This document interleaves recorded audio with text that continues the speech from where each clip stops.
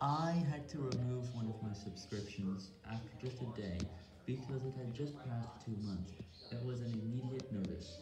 This means that I'm really sorry for this, but Cartlow has to be removed from my subscriptions. This is because I don't have channels that